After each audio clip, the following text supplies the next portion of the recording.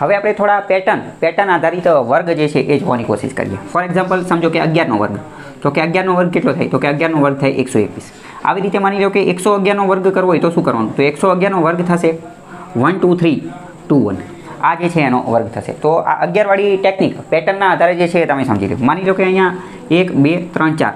એક હજાર એકસો અગિયારનો વર્ગ છે. એક વારંવાર રિપીટ થતો હોય. એક જે છે એનું વારંવાર પુનરાવર્તન થતું હોય. અને એનો આપણે વર્ગ કરવો હોય તો શું કરવાનું?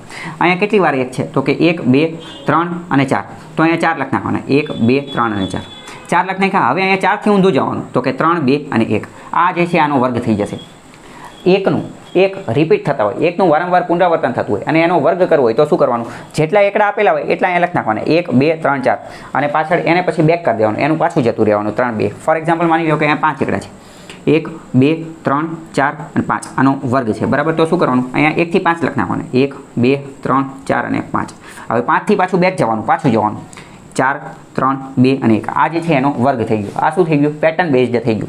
આ બધી વસ્તુ ક્યાં કામ આવશે? ડાયરેક્ટ આનો વર્ગ પૂછી લીધો હશે. અથવા તો અમુક વાર ટફ કરવું હોય તો શું કરે? આને વર્ગમૂળમાં નાખી દેતી હોય. આ બધી વસ્તુ જે છે, આ આ વસ્તુને વર્ગમૂળમાં નાખી હોય અમુક તો અમુક વાર શું થાય કે કન્ફ્યુઝન થાય કન્ફ્યુઝ થઈ જાય કે ભાઈ એટલે આટલો મોટો આનું વર્ગમૂળ ક્યાં કાઢવું? આનું વર્ગમૂળ તો યાદ ન હોય. પરંતુ આવું યાદ ન રાખવાનું. આ અમુક પેટર્ન બેઝડ જે છે, એ થોડી ઘણું આપણે શીખેલા હોય તો આઈડિયા ફોર એક્ઝામ્પલ સમજો કે છ એકડા હોય.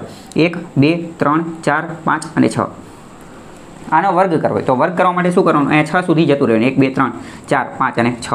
છથી પાછું પાછું આવી જવાનું. કે પાંચ, ચાર, ત્રણ, બે, એક. અમુક એવું હોય કે મને કે આ પાછું જતા નથી આવડતું, કે પાછા ઊંધા એકડા નથી આવડતા. તો કાંઈ નહીં કરવાનું એ પાંચ, ચાર, ત્રણ, બે અહીંયા જોઈ લેવાનું. બરાબર? શું? આગળ માની લો કે સાત એકડા છે. એક, બે, ત્રણ, ચાર, પાંચ, છ અને સાત. આનો વર્ગ કીધો છે. તો શું કરવાનું?